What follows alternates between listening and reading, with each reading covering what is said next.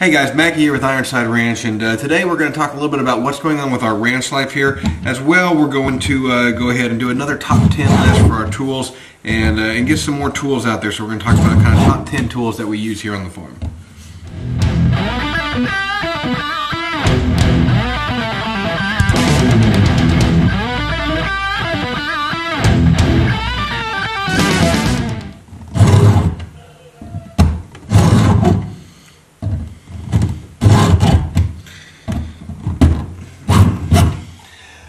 Guys. So, with our farm life here, we've had some changes come up, and uh, y'all know that um, if you've watched any of our Let's Talk Dirty uh, videos, you'll you'll know that what we were planning on doing is taking this farm that we have here, which is 20 acres, and originally we were going to build this out, and then we decided, well, we would just sell this and uh, we try to make a, um, 100 we took we bought 150 acres up uh, the north north part of Alabama and we are going to turn that into our little homestead. Uh, some plans are currently changing right now. It looks like we're going to at least stay here for the foreseeable future. Um, and so we're going to kind of keep developing this here. And uh, hopefully when we go to sell this place, we'll get a little bit more money for it. Uh, but uh, um, anyway, so so that's kind of what's going on with our ranch life. So I tell you that so that you know that we'll have some more videos out here. Uh, we'll be we'll be posting a lot more, um, and and hopefully get back on our schedule, doing one video a week. Um, Amanda did just have our baby, so uh, she's still in kind of recovery mode. So um, that being said, after she kind of heals a little bit, then we'll then we'll push back to uh, to, to, one video a week. Um, minimum, it's probably two a month, but we're, we're, hoping for one a week. So what I thought I'd talk to y'all about is because we've done some of these top 10 videos with tools, and it seems like people like them a lot. And uh, so I wanted to do a top 10 video with tools um, on what we use for our mechanical tools. And so we talked about like homesteader tools and stuff like that in the past. And we talked about first tools for your workshop. Um, and then so if you're getting into your homestead, let's say you're buying a riding lawnmower or getting your first pickup or whatever it is, um, there's some tools that y'all need. Um, and uh, it, some some basic hand tools. So this is this is my toolbox that I use for for vehicle and equipment repair. Uh, so this is obviously not a carpenter's toolbox, so there's no saws or, or framing hammers or anything in here. Um, so this is this is specifically for working on vehicles. Basically, I cart this around, um, it allows me to do minor repairs. Um, and then if I'm doing anything a little bit bigger, I pull it into the shop here, and I'm able to work on it here. Number one, a good 3/8 socket set. Now I used to use half inch, but uh, what I found is that when you go from working on tractors as well as vehicles, you have to have both SAE and metric whenever you're doing it. So uh, we found that having a 3/8 inch in here was better. Uh, it allowed me to carry around a more a more complete set of, of, of ratchets. And then for my uh, for my shop, I have a nice half inch and a three quarter inch set that I use whenever I have to pull a vehicle in here, and that gives me the leverage that I need to get. This, for carting around on the farm, is perfect. I can throw this on the back of a little tractor. I can throw it in the car and go wherever I need to go. If the tractor dies on the hillside, I can actually hand carry this up there and it works just fine. Um, and I've done that before. Obviously, next, we need a good set of wrenches. Um, and uh, uh, there's there's lots of different brands that y'all can look at. Uh, these here are Craftsman, back when Craftsman was made in America. Um, you can still get some Craftsman that's made in America. There's lots of different brands out there, guys. Lots of different stuff. That's some of it's good, some of it's not. Uh, anything I bought with Husky has pretty much broken by now, so I don't buy Husky anymore. Um, I do still buy Stanley. Stanley's always been good to me, um, and so I still I don't have too big a problem with them.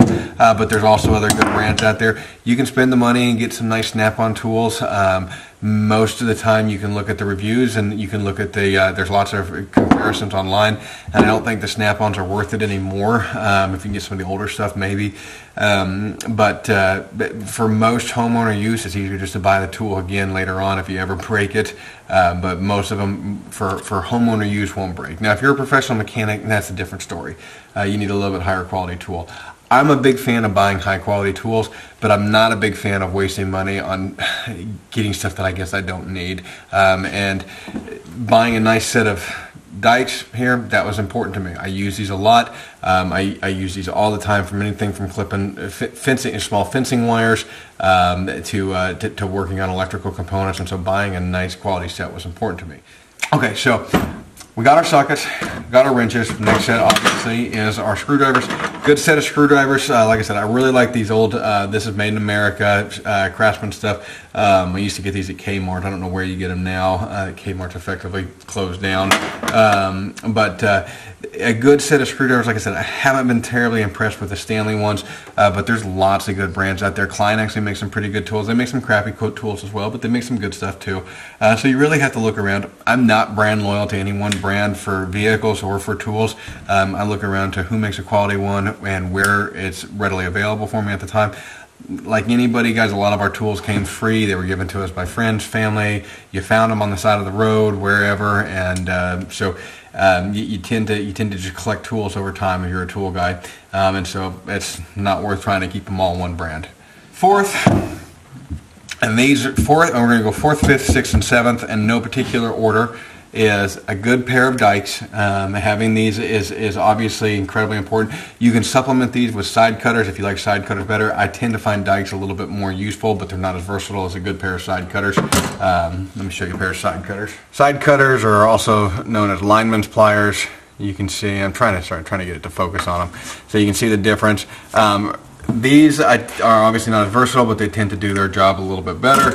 These are a little bit more versatile. They have some different uses and uh, certainly belong in an electrician's toolbox. Then we have just our standard pliers. Um, again, guys, using a good uh, quality brand. I'm not sure what brand these are because there's no marking on these. Um, and I have so many pairs of pliers laying around. Some of mine are really good quality snap-on ones. I still probably got a pair or two of Huskies left. So, uh, but getting a good pair of pliers um, is certainly important while you're building your tool set. Um, again, this all changes as you get tools for free, so don't don't get too beat up over the brands. Um, pair of channel locks. Um, this is not my favorite pair of channel locks, but it does fit well in this toolbox. I like a little bit bigger one. Um, uh, it's nicer to have a little bit more grip on those channel locks, but for automotive work, this one seems to do most of what you need to do. So my bigger ones stay in my plumbing toolbox and in my standard toolbox. And then obviously needle nose pliers. You use these a lot, um, and I use those in combination with something like this that's a uh, um, for, for grabbing stuff in small areas. This is actually incredibly important. I use this a ton. Uh, all right, after that comes something like an adjustable crescent. Um, I do keep two full-size adjustable crescents in here, so full-size 12 inches uh, adjustable crescents in here, um, and, uh, and that helps me get on either side of whatever it is that I'm working on. Um, and so having these uh, in here, especially when you get to those bigger bolts, and particularly if you're not doing a lot with bigger bolts and you need to, uh, and you're not necessarily buying a, a, whole set of wrenches or whatever it is for them, um, that's, uh, that's incredibly important to have those. I also keep one smaller pair in here, uh, or one smaller uh, adjustable crescent in here. This is an 8 inch. Uh, I do use this one quite a bit as well. Uh, any other sizes I keep, uh, they stay on my, on my pegboard over there above my workbench.